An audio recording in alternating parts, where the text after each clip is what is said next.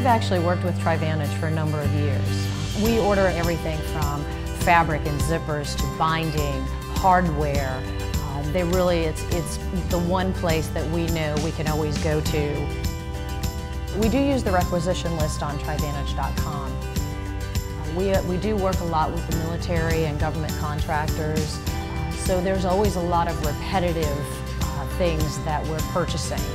Um, being able to use the requisition list, again, just allows me to go in and very quickly place an order and not have to continually go back and look up each individual piece and each individual item. It makes our jobs easier, saves us time, uh, being able to find one, one uh, company that we can work with that's truly a great partner and has everything we're looking for.